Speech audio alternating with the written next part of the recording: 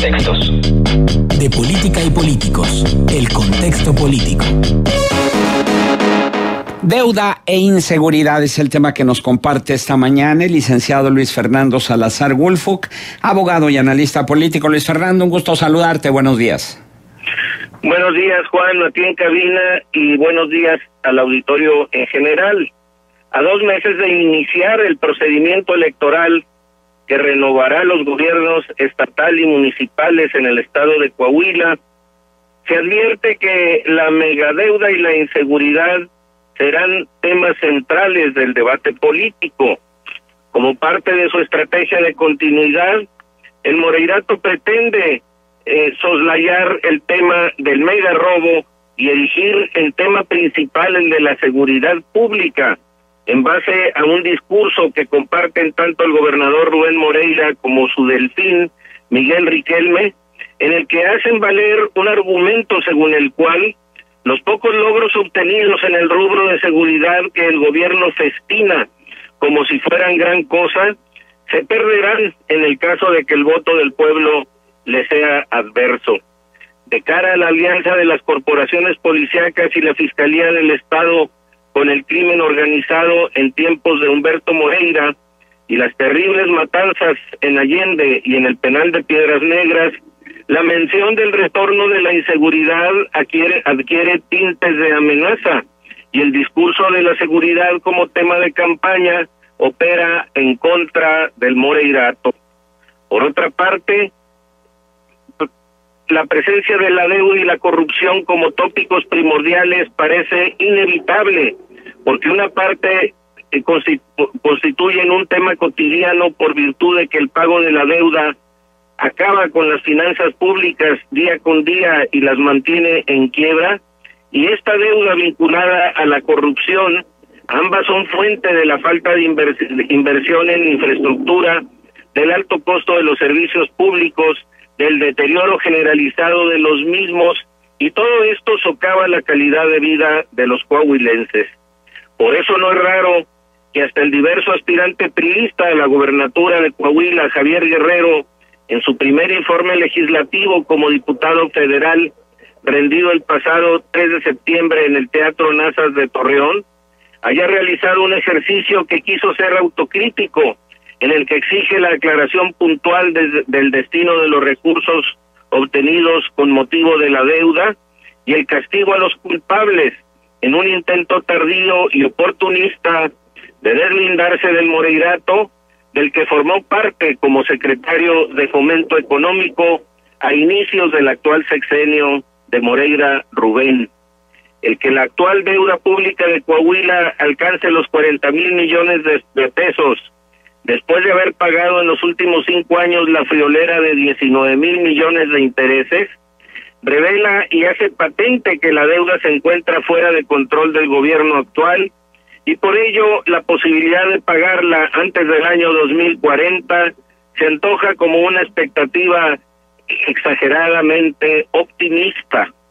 Pero el monto de la deuda y la inviabilidad de su pago no es lo peor del caso. El problema fundamental es que la causa generadora de la deuda que se concreta en la corrupción sistemática y estructural del Moreirato permanece hasta hoy día y seguirá en el caso de que el mismo grupo faccioso continúe en el poder, si los coahuilenses lo permitimos. El tema de la deuda tiene solución en manos de un nuevo gobierno que rompa con el actual, porque en virtud del carácter fraudulento de la forma en que se contrajo mediante la utilización de documentos públicos falsos, estamos frente a un delito, un delito permanente entendiéndose como tal en los términos del artículo 54 del Código de Penal de Coahuila, es el que se comete, el que se origina en un periodo de consumación durante el cual la conducta delictiva se prolonga por cierto tiempo. Lo anterior quiere decir que los delitos cometidos por el Moreirato en el entorno de la megadeuda no han prescrito y todo indica que su consumación de efecto sucesivo o continuado permitirá imputar responsabilidades en el futuro, habiendo voluntad política de por medio. Otro factor digno de ser considerado es que en la responsabilidad inicial del endeudamiento y en sus ilícitas reestructuraciones están implicados los banqueros y las instituciones bancarias involucradas, por lo que en el plano jurídico y económico existe la posibilidad de ajustar cuentas y demandar la reparación del daño por los actos ilícitos a los que se refieren los artículos 1851 y demás relativos del Código Civil de Coahuila, Juan. Pues sí, Luis Fernando, pero em, digo, bueno, es que nunca falta el, el pero. Sí, yo estoy de acuerdo contigo en que eh, según eh, el artículo 54 del Código Penal de Coahuila, eh, hay un periodo de consumación durante el que la conducta delictiva se prolonga por cierto tiempo. Y, y sí es cierto, sí es cierto lo que tú mencionas, que los delitos cometidos por el Moreirato en el entorno de la megadeuda no han prescrito. Sin embargo, no se ve que haya una verdadera voluntad política de parte de quienes debieran ser los encargados de investigar y en su caso sancionar las responsabilidades de estos ilícitos. Y esto ni a nivel estatal ni a nivel federal, Luis Fernando. Así es, pero es hora de que lo haya, ¿no? Porque, es decir, la, la deuda eh, implica un peso tan grande, o sea, la, deuda es una amenaza para el desarrollo del Estado. Entonces, eh, resulta obligado que se proceda para aclarar el destino de los recursos de la megadeuda, que se castigue a los responsables. Sin embargo, hay otro, otra parte muy importante que es la que concierne a la, al ajuste de la, cuenta con los bancos, precisamente fundados en que en, en la eh, contracción de la deuda y en su reestructuración ilícitas han sido partícipes, por lo menos los representantes legales y los, eh, los, ejecutivos de esos bancos, y, y creo yo que es una oportunidad histórica de, de demandar un ajuste, por lo menos en la cuenta, un ajuste eh, en, función de que se haga posible su pago sin, sin que eh, eh, de, una manera que no estén las finanzas del Estado en quiebra durante dos o tres generaciones. Eso tiene que intentarse, o sea, los coahuilenses tenemos que intentar eso en los tribunales. Y claro, también falta que, los tribunales realicen ese ajuste adecuadamente, que exista la voluntad de justicia en el presente caso, pero hay que intentarlo, Juan. O sea, no, no, no podemos dejar pasar la oportunidad de intentarlo, cuando menos, eh, para, para exhibir la situación que, que, que implica la, la, megadeuda y en su momento eh, obtener ese ajuste. Híjole, Luis Fernando, no quiero entrar de, abogado del diablo ni, ni, ni ser un Contreras, sin embargo, tú dices hay que intentarlo. Y dime si no lo han intentado organismos ciudadanos como PC29, eh, legisladores como eh, Luis Fernando Salazar Fernández, em, también eh, ciudadanos de manera particular a través del Instituto Coahuilense de Acceso a la Información y, y todo ello ha fracasado. Entonces, ¿cómo intentarlo de manera diferente que sí tenga resultado? Bueno, hay que abrir la, la concha, hay que abrir la ostra, porque el, el actual gobierno del Estado está indudablemente protegiendo a la administración anterior y sí, es, eh, decir, tiene en sus manos los mecanismos para hacer justicia. El, eh, la, la, Procuraduría de Justicia del Estado de Coahuila sigue teniendo el monopolio de la acción penal en, en el territorio del Estado.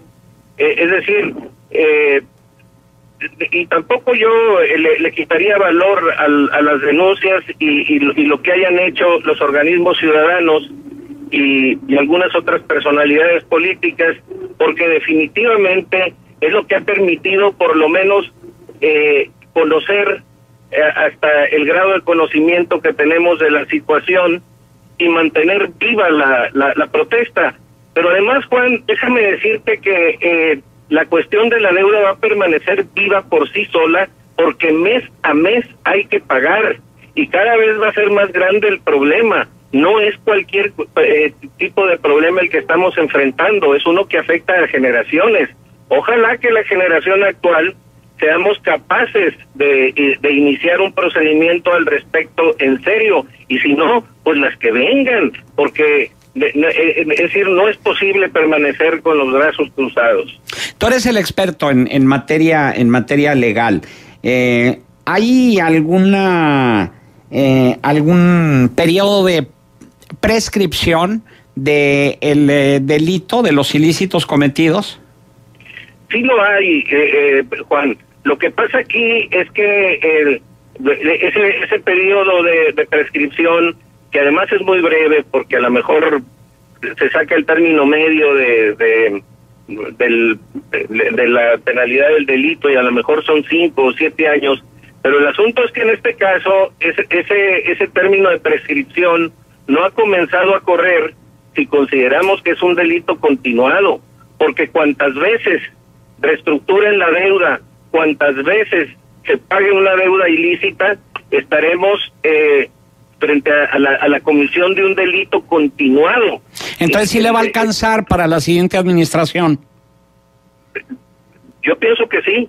Yo pienso que sí, le, debe alcanzar porque son es una concatenación, es decir, una cadena de hechos que se, que, se están dando y, y que agravian al erario del Estado día con día. Por eso es que es posible eh, eh, intentarlo y no solamente en el plano de, de, la, de la cuestión penal, sino incluso del tema civil para lograr la reparación del daño y el ajuste de cuentas con los bancos. Muy bien, Luis Fernando, ¿algún punto de contacto? Sí, como no, mi domicilio es en Avenida Morelos 30 Poniente Interior 6 y mi teléfono el 716 2636.